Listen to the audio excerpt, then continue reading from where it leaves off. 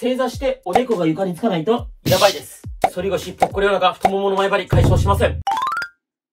スマホは床に置いて、正座したままゆっくり前に倒れましょう。おでこが床につくかどうかチェックしていきましょう。かかとと、えー、お尻つけたままおでこが床につくのが理想です。どんなに硬くても、えー、肘は最低でもこうやって床までついてほしいです。できない方も安心してください。このね、背中、お尻周りが硬いだけです。1回で変化出ますので、楽しみにしててください。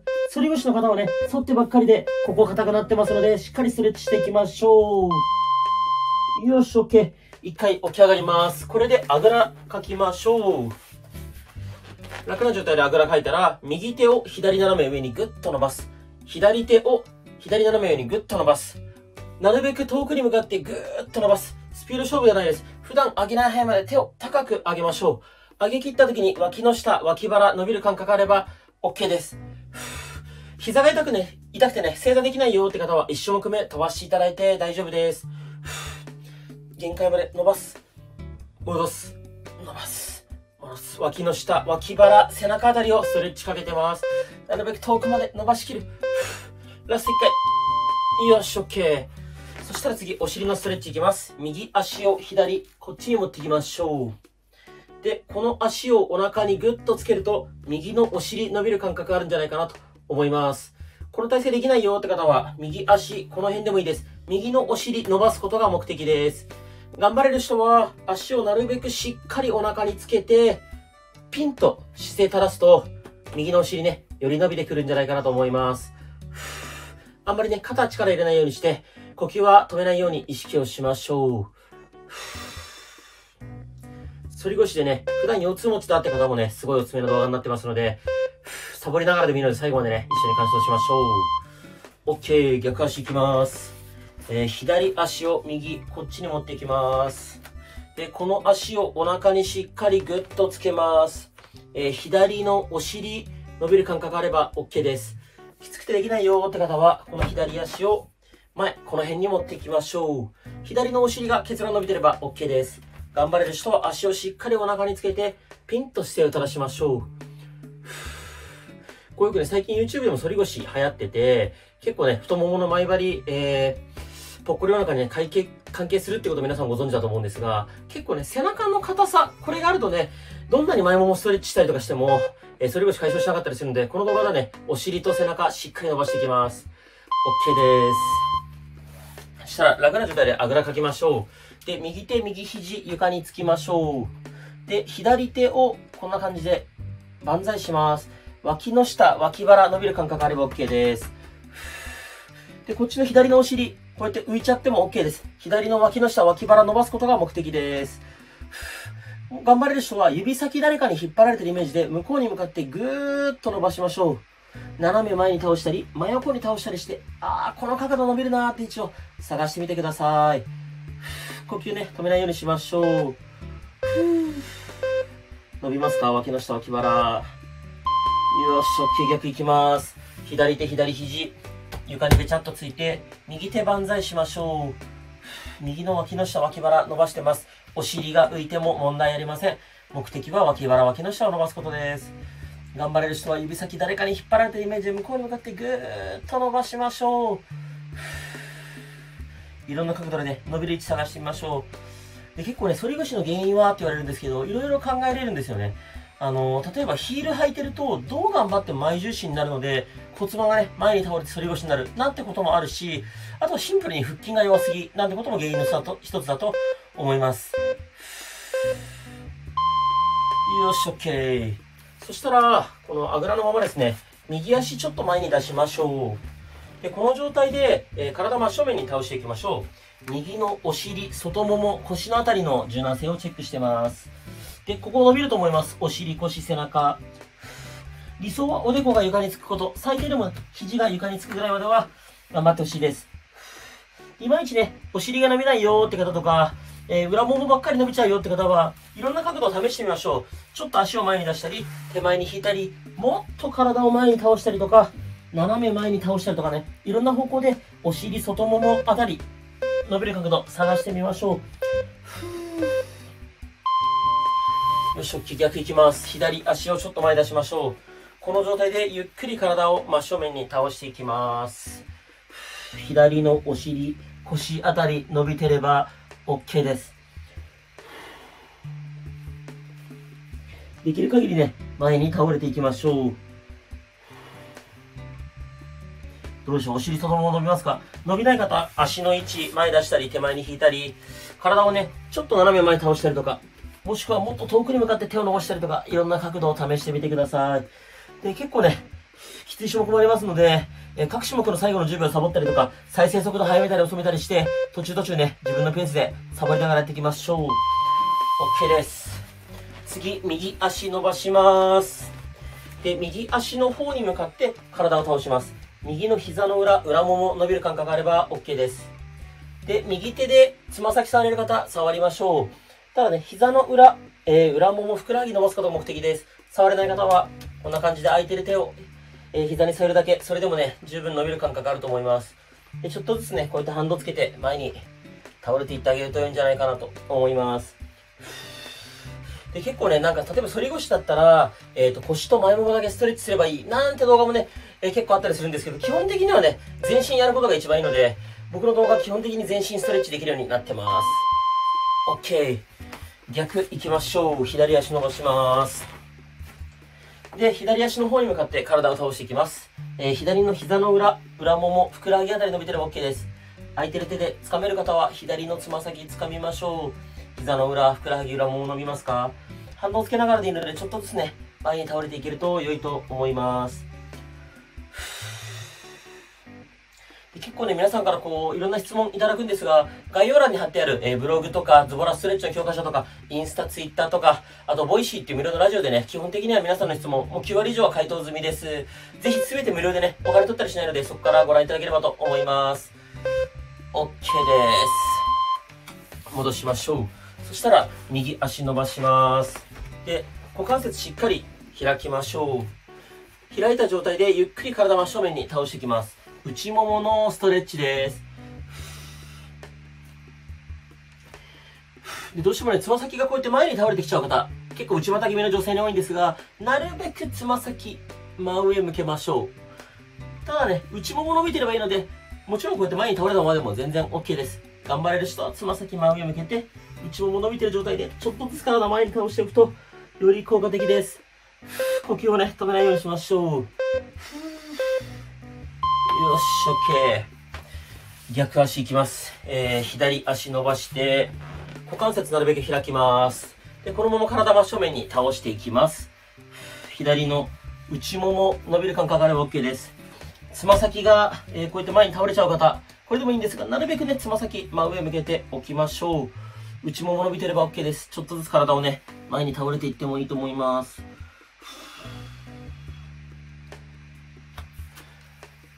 呼吸を止めないようにしましょう。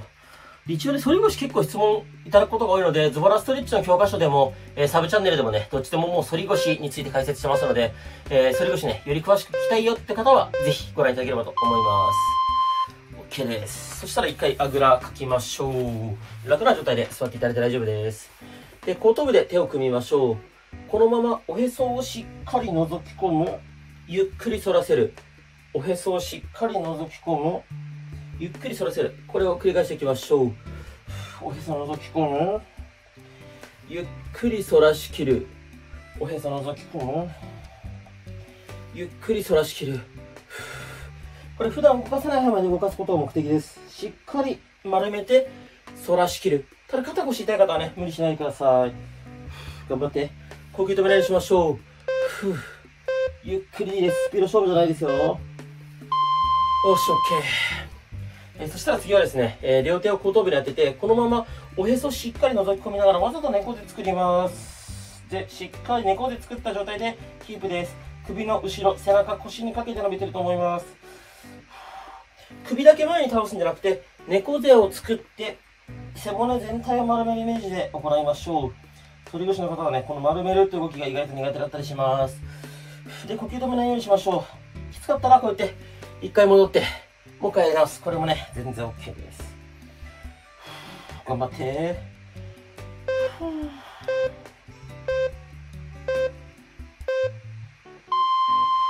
よし、OK です。そしたら次、もう一回右足伸ばします。で、右足を伸ばして、なるべく股関節しっかり開きましょう。そのまま体真正面に倒れて、えーつま先前に倒す。真上向ける。つま先真上倒す。真上向ける。これ繰り返しましょう。股関節ね、付け根から動かすイメージです。呼吸止めないようにしましょう。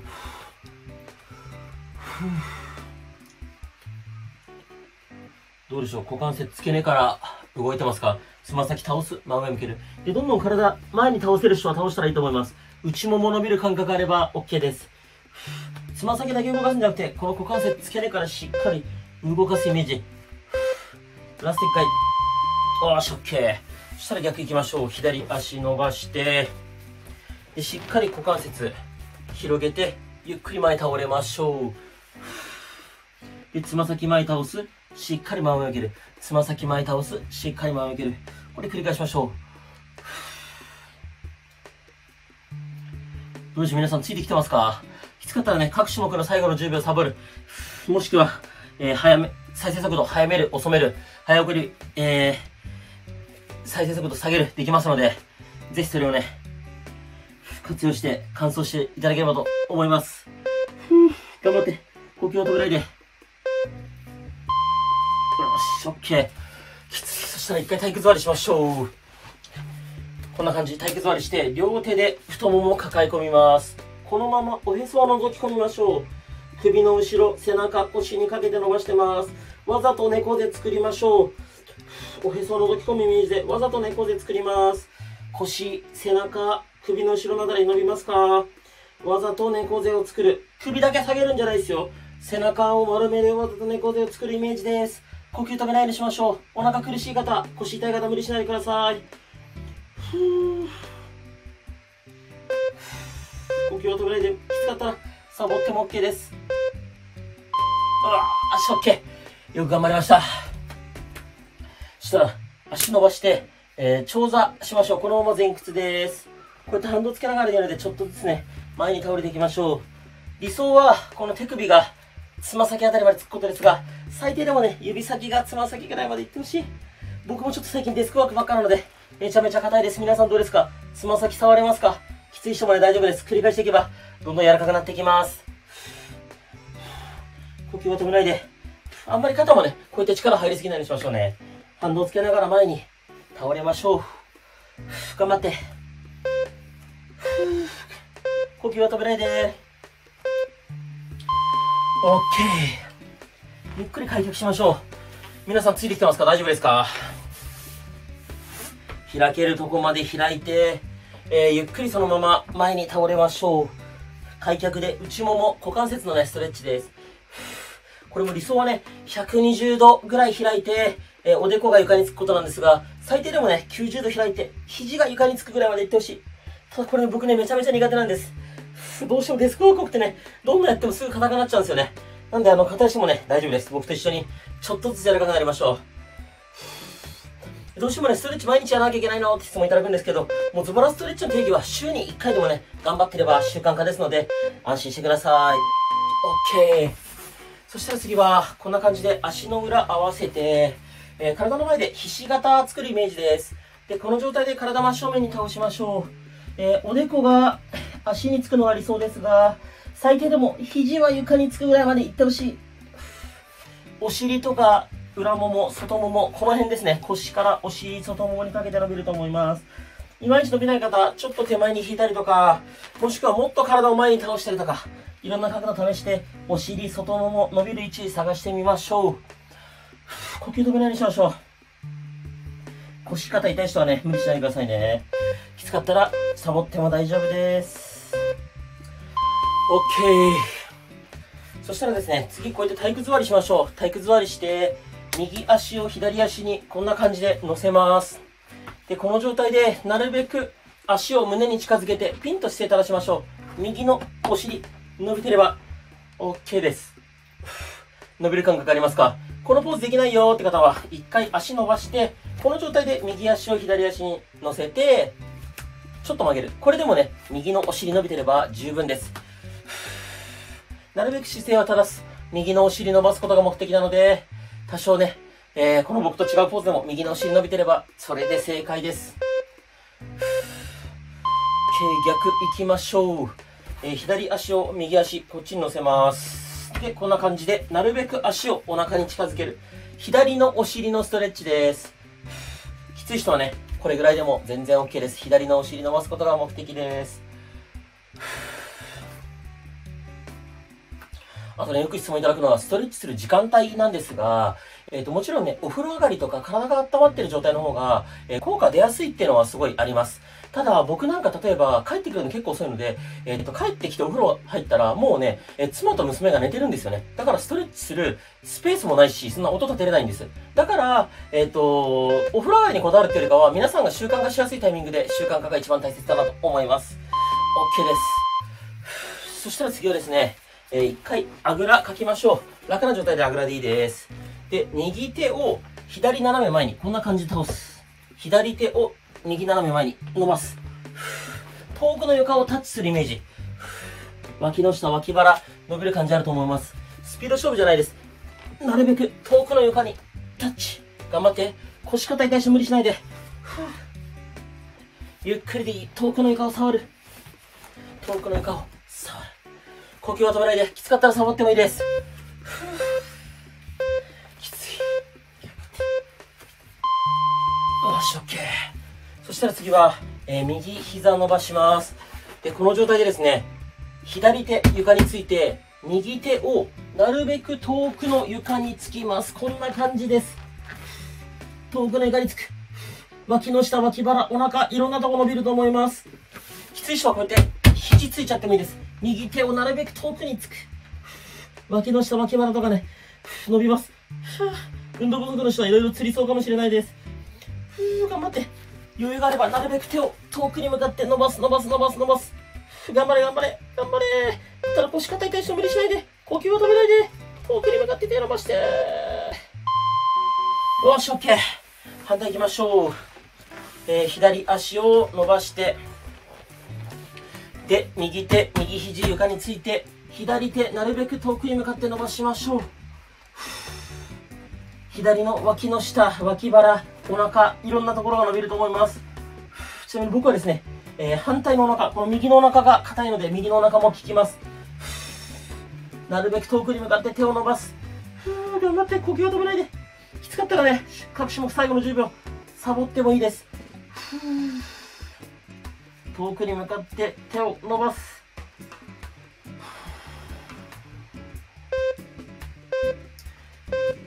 なるべく遠くに向かってぐーっと手を伸ばす。よし OK ゆっくり戻りましょう。そしたらですね一回開脚しましょう。でそんなに開ききるっていうよりもある程度90度ぐらい開いたらいいです余裕がある範囲で開いてえー、つま先内外にねじってちょっと股関節のね、えー、クールダウンでたくさん使ったので。開ききるときついので、余裕があるぐらい開いた状態で、えー、打つとねじる。手はこうやって床ついてもいいし、後ろに寄りかかってもいいです。ちょっと股関節のね、休憩ストレッチです。たくさん使ったので、皆さんついてきてますか？一応ね、種目と種目の間の秒数とかもね、皆さんがやりやすいように調整してます。もしペースが速い、遅いあればコメントで教えていただければと思います。よし、OK。最後の種目一緒にやりましょう。もう一回正座していただいて、そのまま前に倒れるおでこが床につくかチェックしましょう。僕はだいぶ余裕を持っておでこが床につくようになりました。かかととお尻はつけたままおでこ床につきますか？お腹がきついよって人はね、ちょっとこうやって足広げて、それで前に倒れてもいいです。だいぶ難易度下がります。これでおでこね、床についてもいいです。お腹が邪魔な人はこうしてもいいです。理想はね、正座したままおでこが床につくと良いです。どうでしょう皆さん変化感じられてますか？感想をね、一言コメントでいただけるとあります。助かります。でね、反り腰、ぽっこりお腹、えー、太もも前張りに効くおすすめの骨盤矯正の足痩せストレッチ、概要欄貼っておくので、ぜひこのまま続けてね、やっていただければと思います。あと、Twitter、インスタ、毎日更新してますので、概要欄から見てフォローいただけると助かります。OK です。お疲れ様でした。よく頑張りました。自分自身に拍手。もう全然ズボラじゃないです。素晴らしい。もしこの動画が良かったらチャンネル登録、高評価いただけるとすっごく励みになります。一緒に頑張りましょう。